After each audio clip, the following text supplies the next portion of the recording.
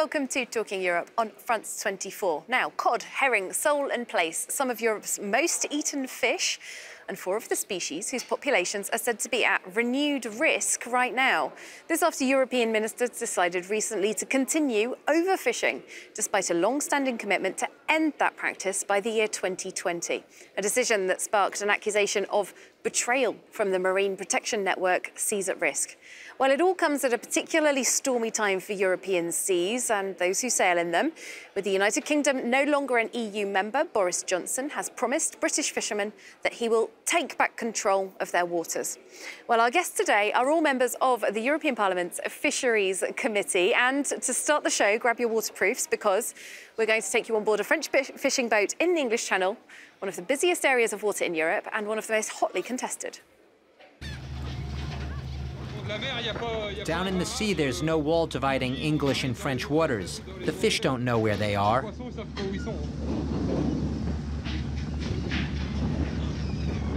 The EU tries to protect fish stocks by allocating maximum catch limits for different species to each country. They're known as quotas, and member states can sell or lease them to each other. The Dutch have bought out more than 20% of England's quota. They're the bankers of the sea, says Olivier. When he spots one fishing in the same zone, he refuses to switch course. He's just in front. Tell him I won't move. The vessel is Dutch, but because it owns English quota, it's flying the United Kingdom's flag. Ask if he just wants me to go back to Boulogne and leave the zone to him. You want uh, I go back uh, to Boulogne? The French are being sarcastic.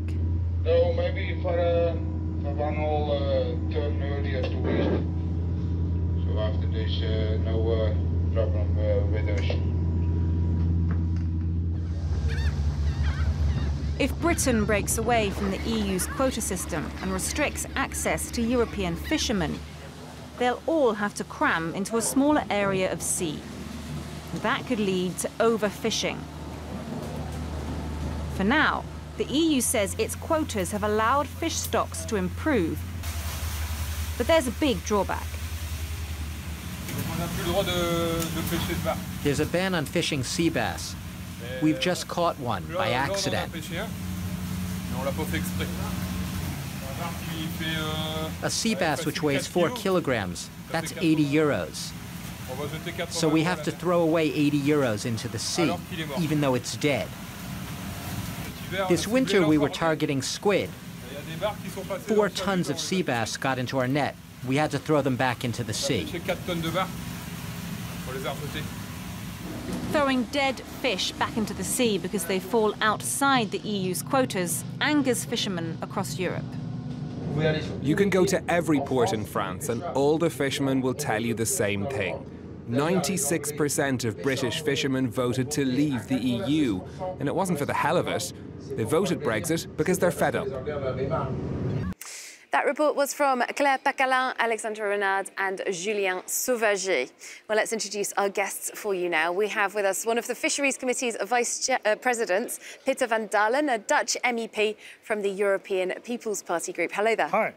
Uh, next to you, we have uh, Grace O'Sullivan, who is an Irish MEP. You're actually the spokesperson on marine issues for the Irish Greens. Hi, Catherine. And uh, across the table, we have Manuel Pizarro, a Portuguese MEP from the Socialists and Democrats group. Hi, Catherine. Well, thanks all very much for being our guests on the debate today. First question, really. Uh, this uh, deadline for setting fishing quotas at sustainable levels is long overdue. There was a preliminary deadline of 2015, a sort of a second last minute deadline of 2020 and it's been missed. Uh, why, Peter van Dalen, have EU ministers missed this deadline and how much of a problem is it? I think the fisheries policies of the European Union, especially in the North Sea, is a worldwide example. Uh, since for almost all the stocks in the North Sea, we fish at a sustainable level called MSY.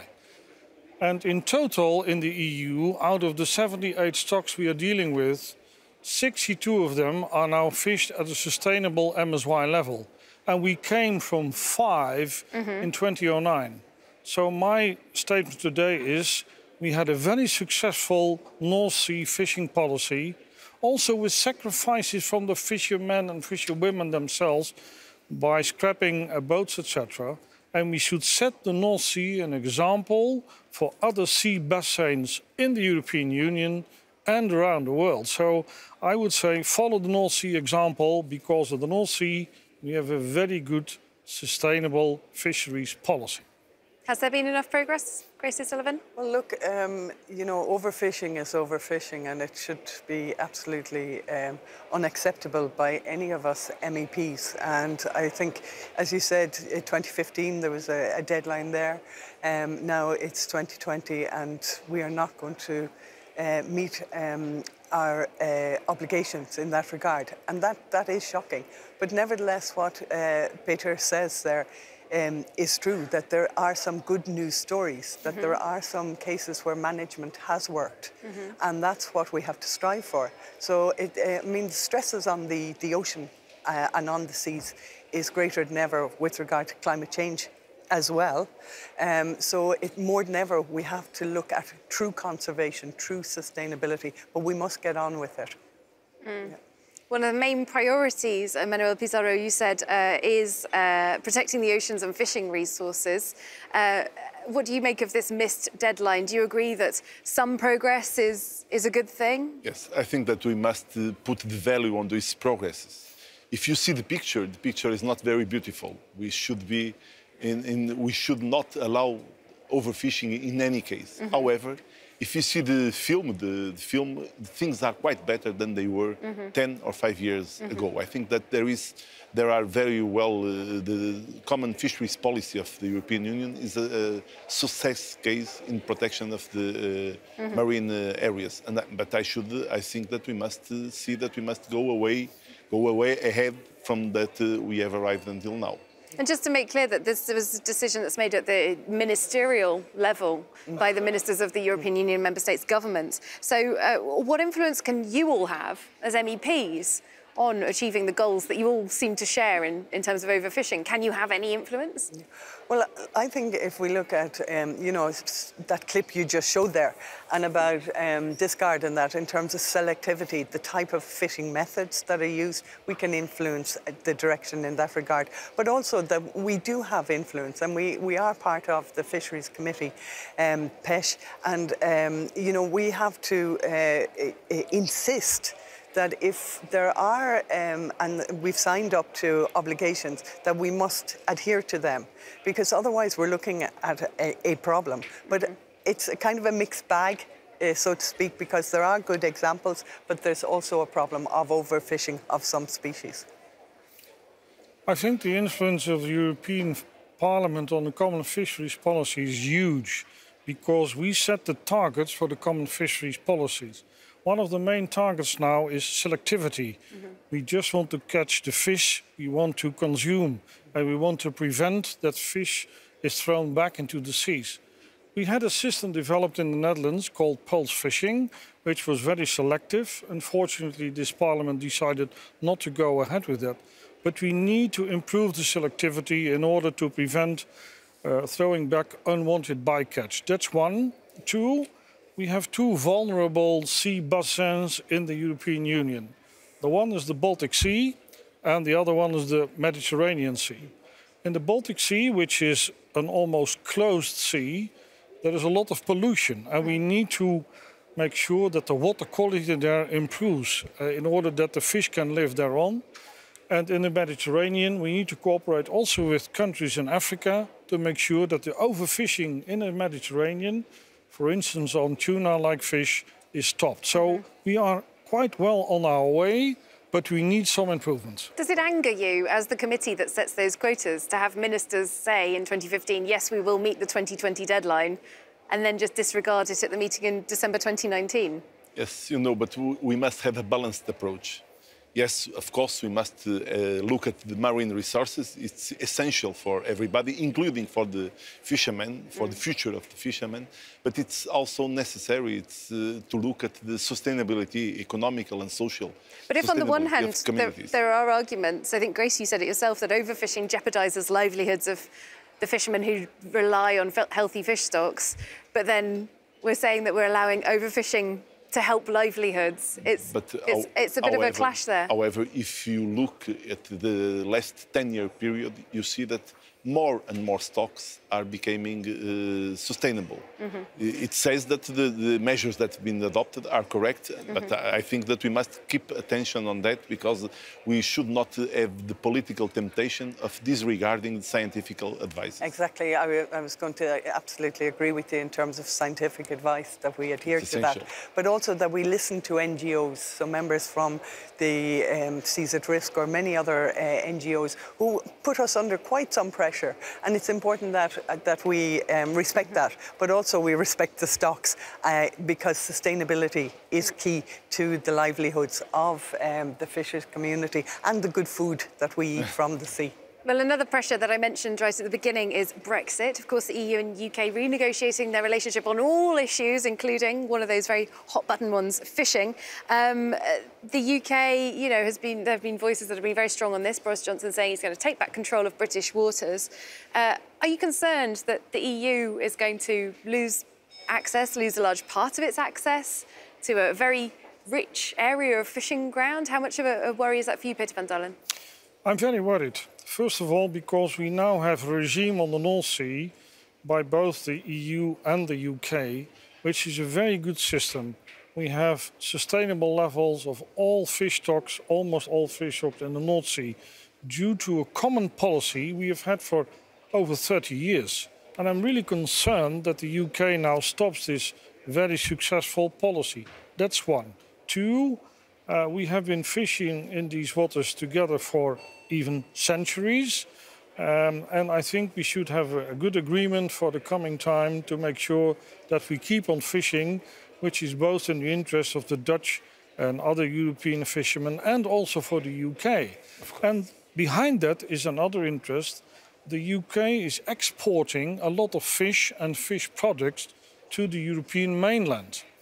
Um, and I do not want to end in some sort of a, a trade war that we have to block this export of UK fish products to the uh, mainland. I want to co cooperate and I do not want to have a, a war on fish or whatever. So, so, we need to sit together and find a solution with equal treatment mm. and good trade relations. But you feel that the EU could be pushed do you feel, to a point of having to block fish exports from the UK? Is that what you're suggesting?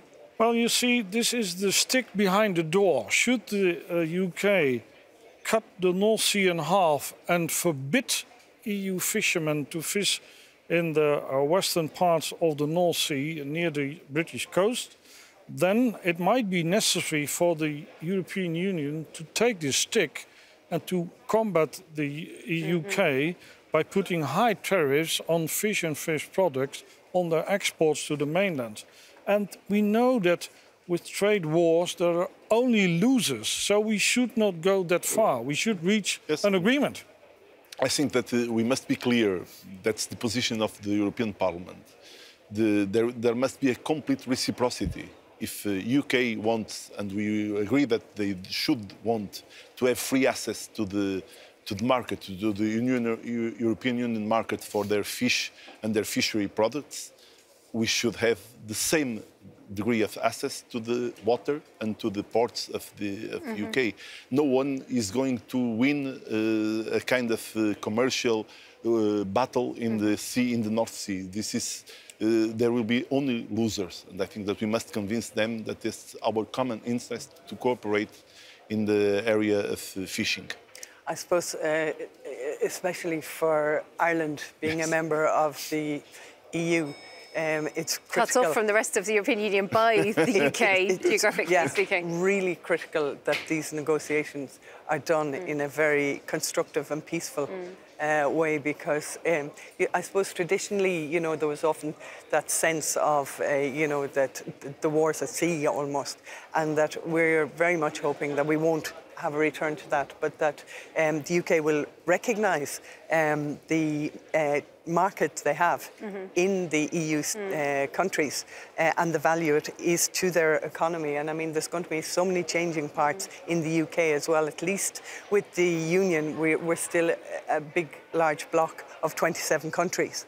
Um, and Ireland has uh, been working very well mm. uh, in that partnership over the last number of years. So we're hoping that the access to UK Waters mm-hmm. Irish will continue um, and that um, and more or less status quo mm. will be maintained. Yeah. Just uh, got time for one last quick question to everybody, really. Uh, we have seen in the last couple of weeks, since the UK formally left the EU, uh, the first week of February, uh, around Guernsey, which is a, a UK Crown dependency, uh, French fishing boats were, had their access to those ports blocked, and there seemed to be a mini fishing war sprung up around the Channel Islands.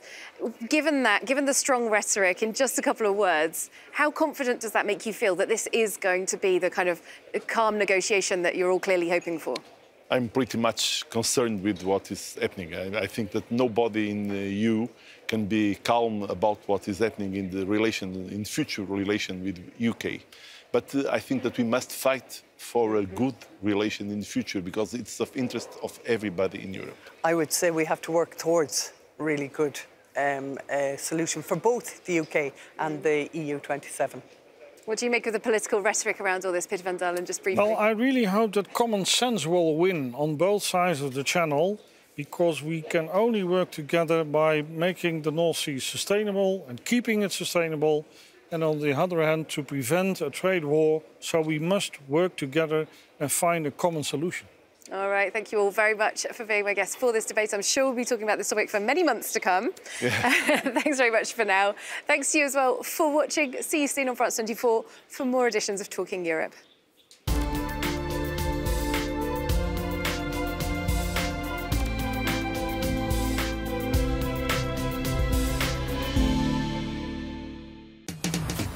France is famous for its generous social safety net. It's been said the country is a paradise inhabited by people who think they're living in hell. Well, critics say it's a Byzantine ball and chain for the economy that's unsustainable in the long run, while defenders say it's a treasured jewel that needs protecting. So, just how good are the benefits of the French system? What do the French think about it really? And who foots the massive bill? Join us for this episode of French Connections Plus, where we explore the hot button issue that is France's social safety net. French Connections Plus, presented by Genie Godula and Florence Villeminot.